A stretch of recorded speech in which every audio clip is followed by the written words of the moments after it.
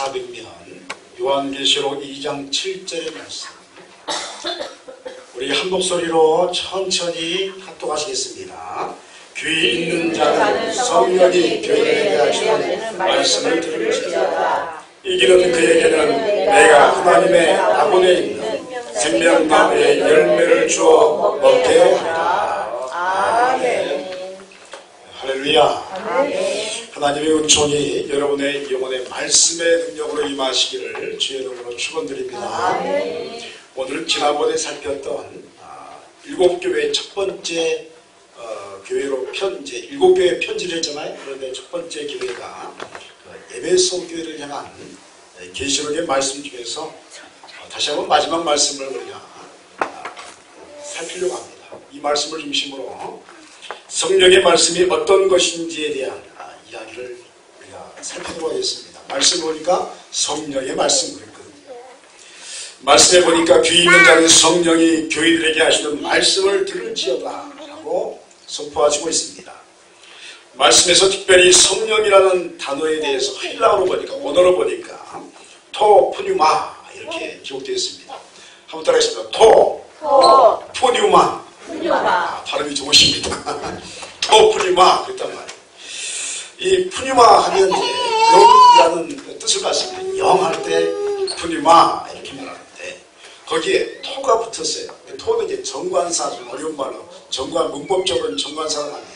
정관사 토가 붙여서 토 푸뉴마 있더니 그냥 푸뉴마 하면 영 이렇게 말하는데 더하면 더가 붙은 게 토가 붙으면 뭐가 특별한 이제 단어가 되는 겁니다. 그래서 토 푸뉴마 하면 보통 성령 이렇게 우리가 번역을 합니다. 그래서 이런 근거로 한글 개혁 개정 성경에서는 이, 이 이제 토프리마를 성령으로 해석을 하고 있습니다. 이것은 아주 매우 당연한 어, 그리고 정당한 신학적 근거를 의미합니다. 다시 말씀드려서 오늘 이야기하는 말씀은 성령의 말씀이다 라고 우리에게 이야기하고 있습니다. 성령께서 교회들에게 하시는 말씀이라는 의미입니다. 그러므로 말씀은 어떤 측면에서 여러분 성령 하나님의 역사가 없으면 들을 수 없고 아, 깨달을 수 없음을 우리로 알게 합니다. 그러므로 오늘 우리는 성령께서 우리에게 하시는 말씀에 대해서 귀를 기울이고자 하는 것입니다. 그렇다면 성령 하나님께서 우리에게 하시는 말씀은 무엇입니까? 오늘 계시록의 말씀은 우리에게 말세에 귀 있는 자가 되어야 한다고 말씀합니다. 따라합니다. 말세에 말세에 귀가 있어야 합니다. 귀가 있어야 합니다. 여러분의 귀가 있기를 축원드립니다. 아멘. 어, 목사님 나 귀 있는데요. 이렇게 읽지 말고 들을, 귀, 들을 귀가 있어야 된다. 좀 아- 알아먹을 수 있는 마음이 있어야 한다. 그런 뜻입니다. 그래서 아, 오늘 부분의 말씀 보니까 귀가 있어야 된, 된다라고 경고하시면서 아, 왜 이 말씀을 이렇게 강조하냐면 귀를 기울이는 마음 없이는 성령께서 교회에게 하시는 말씀을 들을 수 없기 때문이다. 이렇게 말씀합니다. 그러면 어떻게 해야 이런 성령의 말씀을 우리가 들을 수 있을까요? 오늘 말씀은 이에 대해서 우리에게 다음과 같은 이야기를 들려주십니다. 성령은 소통하는 영이시고 또 진리의 영이심을 분명하게 우리에게 말씀합니다. 7절 상만절에 귀 있는 자는 성령이 교회들에게 하시는 말씀을 들을지어다 라고 말씀하고 있습니다.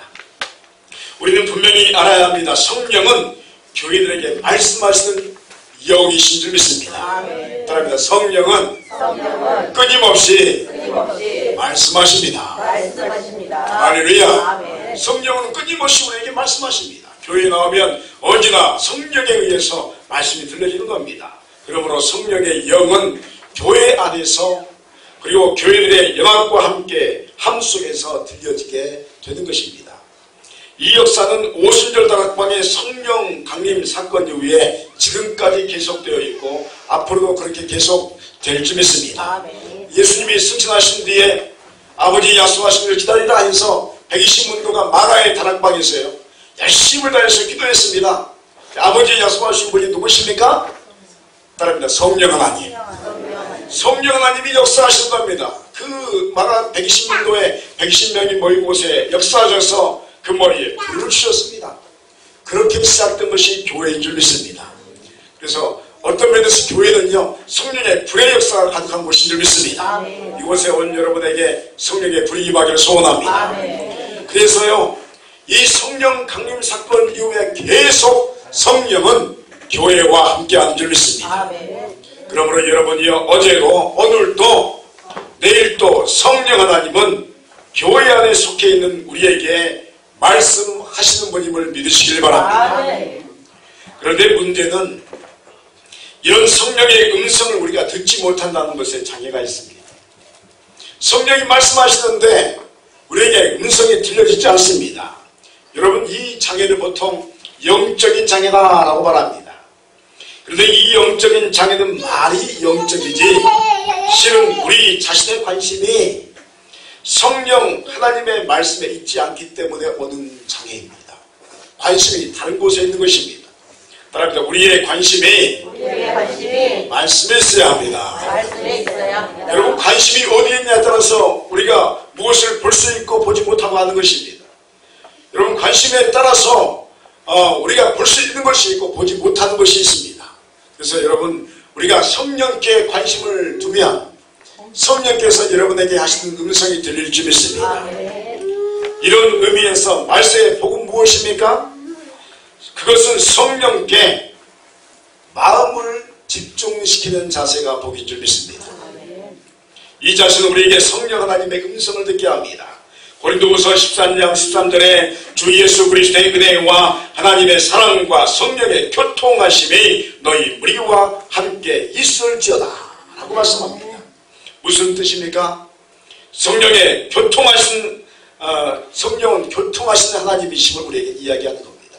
따라합니다. 성령은 성령은 교통하시는 교통하시는 하나님이십니다. 하나님이십니다. 여러분 이 말씀은 놀라운 이야기입니다. 인류 역사에서 신과 교통한 사람이 누가 있습니까? 감히 누가 함부로 교통합니까? 아주 특별한 사람 아니면 구약에서는 선지자 아니면 모세 아니면 아론 아니면 하나님의 음성을 듣지 못했습니다. 그런데 여러분 놀라운 것은요. 이 교회 시대는 누구나 예수를 믿으면 성령과 교통하는 줄 믿습니다. 아멘. 우리의 마음이 집중만 되어지면 하나님의 음성이 들려지는 것입니다.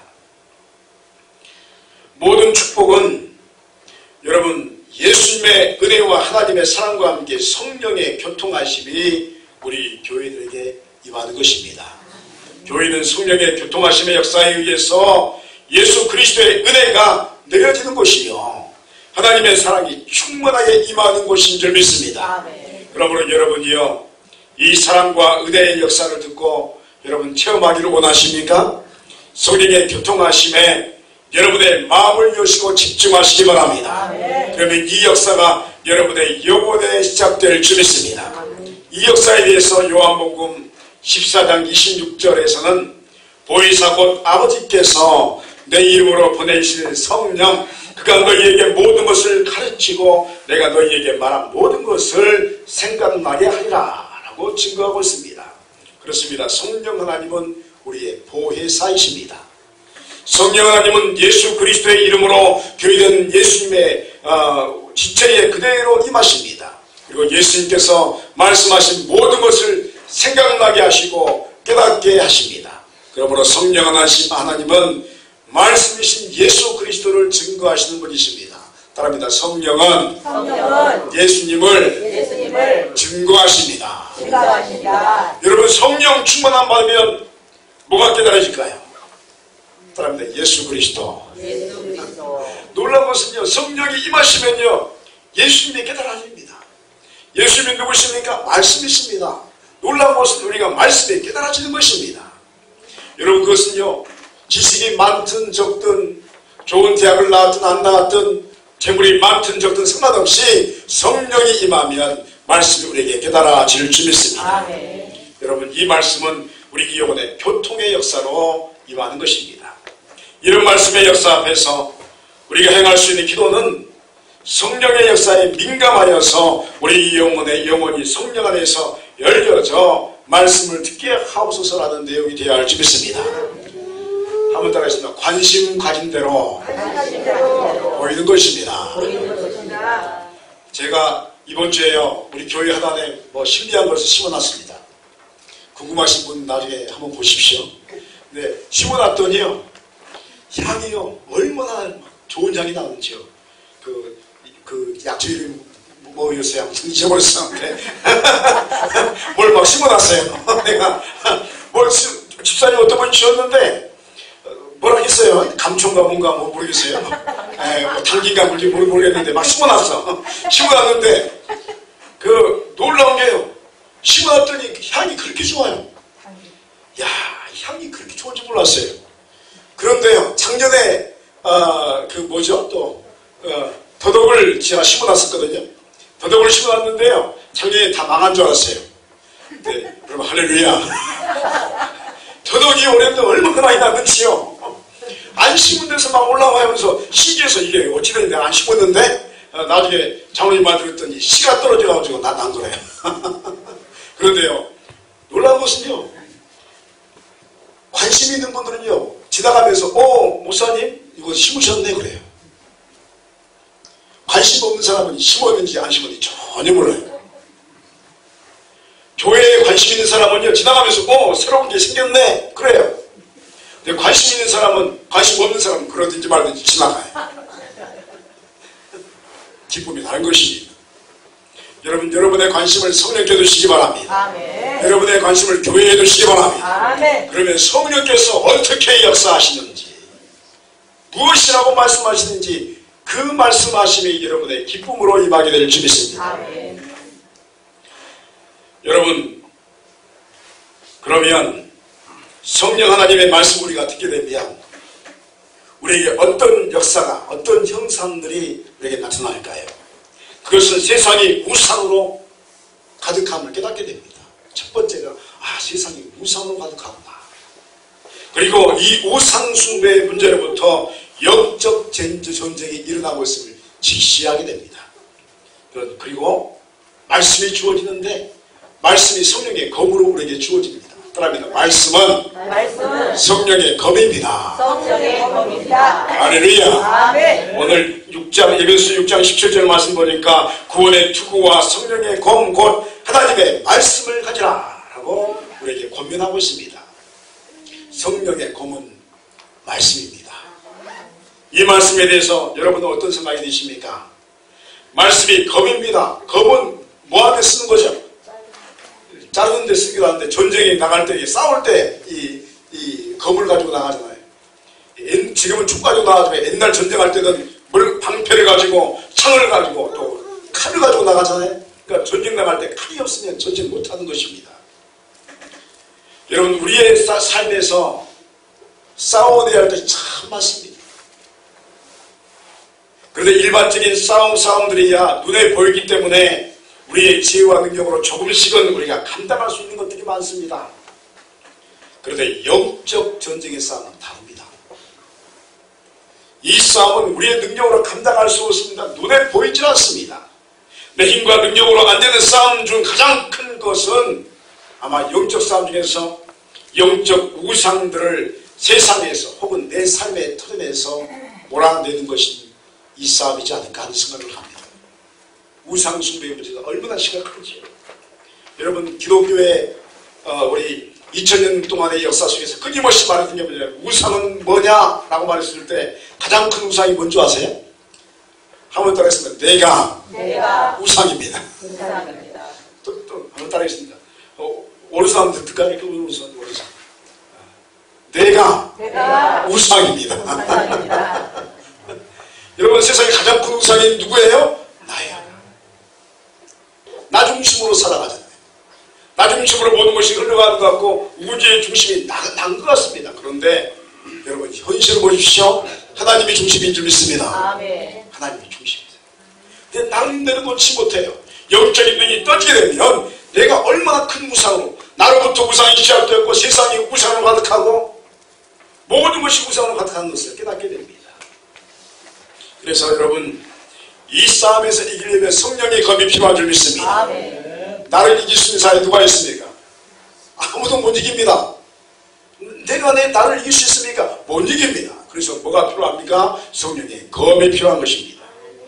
성령의 검인 말씀이 우리에게 있으면 우리는 그 어떤 악한 세력도 다 이겨낼 줄 믿습니다. 아멘. 이런 배경으로서 오늘의 본문의 말씀인 7절 중반절에 이기는 그에게는 이라고 말씀하고 있습니다. 따라합니다. 이기는 그에게는 이기는 그에게는 다시 한번 하겠습니다. 이기는 그에게는 이기는 그에게는 여러분 여기에서 이기는 그라는 원어를 보니까 토니콘티라는 말을 쓰고 있습니다. 토니콘티.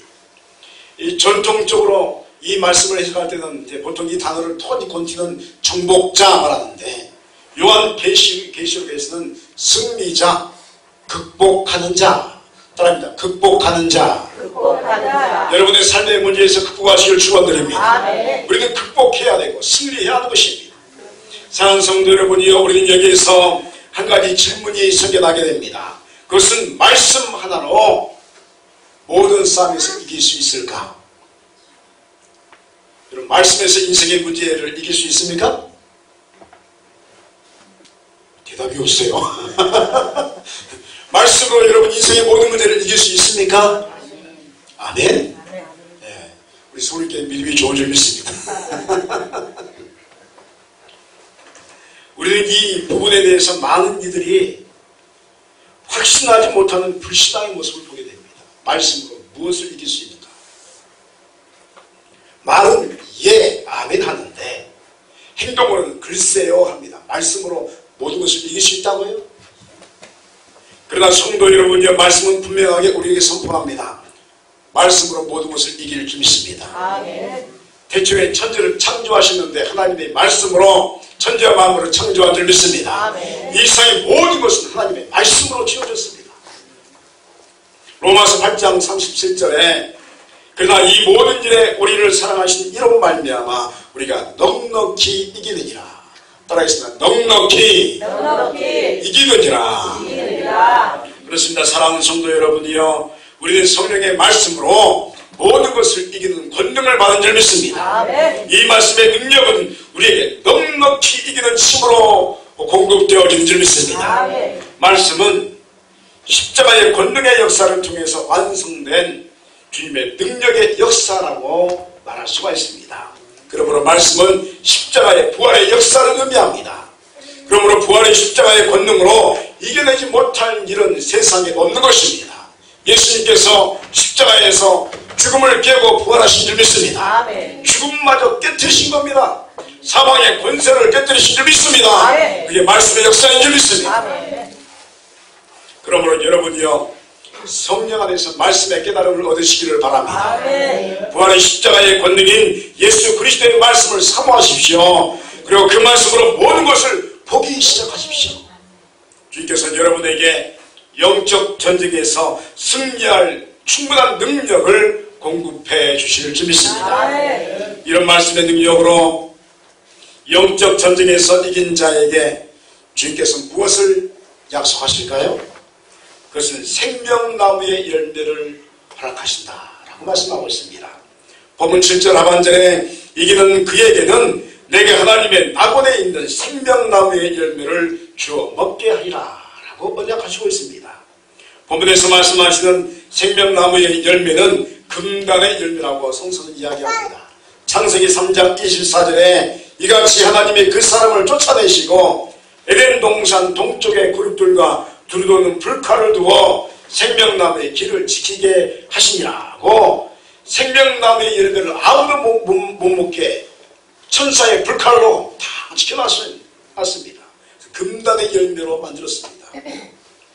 이 생명나무는 오직 율법을 완성하는 자만 먹는 것입니다. 구약의 율법을 완성하지 못하면 먹을 수 없는 것입니다. 네, 죄송하지만 우리 손에 낀 율법을 다 지킬 줄 믿습니다. 근데 봤- 봤더니 보편적으로 율법의 1.1을 우리는 못 지켜요. 얼마나 어려운지요. 제가 예전에 어느 교회에 어느 교회에 어떤 집사님의 이야기를 듣고 내가 충격을 먹었어요. 어, 딱 이제 제가 부, 부목사 있을 때 있는데 어떤 분이 와가지고 그날 그날 십계명에 대해서 설교를 하시거든요. 목사님이 십계명을 지켜야 한다고. 그런 이제 다 이야기하는데 어 이분이 좀 반감이 됐었나 그래서 와가지고 나한테 와가지고 목사님 왜요? 저는요 십계명을 다 지켰거든요. 집사님이 십계명을 다 지키셨다고요? 그분이 하는 말이 아 그까지 십계명을 다 지켰어요. 내가, 내가, 내가 충격 먹어가지고, 내 속으로 그랬어. 나도 못 지키는데. 문자적으로는 십계명을 지킬 수 있죠. 영적인 의미로 들어가면 십계명의 일계명도 지키지 못합니다. 우상을 섬기지 말지니라. 여러분 우상 중에 가장 큰 우상이 누구라고요? 여러분 나를 섬긴, 섬긴 섬기는 것을 거부하는 것이 얼마나 어려운지요. 여러분 내가 기분 나쁘면요 세상이 다 기분 나빠요. 우리 소리끼는 안 그런 줄 믿습니다. 내가 기분이 나쁘면요 온통 세상이 다 기분 나빠요. 우상이잖아요. 내가 기분 좋으면요 꽃들이 노래를 합니다. 할렐루야. 안 그런가요? 내가 기분 좋으면 꽃들이 노래해요. 그런데 내가 기분 나쁘면 새가 울어요. 그렇죠? 여러분 새가 웁니까? 새가 지적입니까? 지적이라 할 수 있습니다. 근데 이제 우리나라는 새가 운다 하고 영어는 새가 지적있다 이렇게 표현합니다. 근데 그 중심에 누가 있습니까? 내가 있어요. 내가 우상이에요. 내 인생의 중심에 내가 있으면 하나님이 보이질 않아요. 그러므로 여러분, 여러분들 비워내시기 바랍니다. 아멘. 나를 비워내면 하나님이 보이는 것입니다. 여러분 그런데 십계명의 일계명도 우리는 지키기가 어려워요. 이 싸움에서 승리할 사람이 누가 있습니까? 놀라운 것은요. 마태복음 5장 17절에 내가 율법이나 선자를 폐하러 온 줄로 생각하지 말라. 폐하러 온 것이 아니오 완전하게 하니라. 라고 우리 주님께서 말씀하셨습니다. 따라합니다. 율법의 완성자는 율법의 완성자는 예수 그리스도이십니다. 예수 그리스도이십니다. 우리가 율법을 완성할 수 없기 때문에 이 땅에 오셔서 율법을 대신 완성하신 분이 우리 주 예수 그리스도인 줄 믿습니다. 아멘. 그래서요, 놀라운 것은 이기는 자, 예수 그리스도 중에서 우리는 생명나무의 열매를 얻을 줄 믿습니다. 아멘. 생명나무의 열매는 영생이거든요. 구원받는 것이거든요. 여러분, 사람은 율법을 완성하지 못하는데, 우리 주님은 율법을 완성하셨습니다. 그리고 오늘 말씀처럼 성령의 말씀을 통해서 이 율법의 완성의 길인 승리하는 자의 길을 우리에게 허락하신 줄 믿습니다. 아멘. 따라합니다. 십자가의 길이 십자가의 길이 승리자의 길입니다. 승리자의 길입니다. 할렐루야. 아멘. 여러분 십자가의 길이 승리자의 길입니다. 인생에서 어떻게 승리할 수 있습니까? 자기 십자가를 지고 주님의 뒤를 쫓아올 때 승리할 줄 믿습니다. 내 십자가 지지 않으면 승리가 이루어지지 않는 것입니다. 따라합니다. 십자가는 부활입니다. 구원입니다. 여러분 여러분의 십자가를 지는 순간에 여러분의 부활을 지는 줄 믿습니다. 생명나무의 열매입니다. 오늘 우리는 세상을 살아가는 그리스도인들이 영적 싸움에서 승리하는 비결, 이게 된 자가 된 비결은 무엇인지를 본문을 통해서 알게 되었습니다. 성령께서 오셔서 선포하시는 그리스도 예수를 증거하는 계시의 말씀은 우리에게 큰 권능으로 임하는 것입니다. 그리고 이 권능을 가진 자만이 영적 싸움이라는 세속적인 우상을 이겨내는 승리를 쟁취하게 되는 것입니다. 그러므로 이런 역사를 위해서 우리는 성령에 민감해야 할줄 믿습니다. 아멘. 나의 생각을 비우고 성령의 말씀을 드려야 할 줄 믿습니다. 그리고 그 성령의 말씀을 붙들어야 할 줄 믿습니다. 성령의 역사 안에서 말씀을 붙든 자들은 모든 것을 이기는 자가 되고 이 전쟁에서 승리한 자만이 생명나무의 열매를 취하는 영광을 얻게 될 줄 믿습니다. 오늘 여러분의 심령이 성령의 말씀으로 영적 싸움에서 이기는 은총이 충만하게 임하시기를 주의 이름으로 축원드립니다. 아멘. 기도하시겠습니다.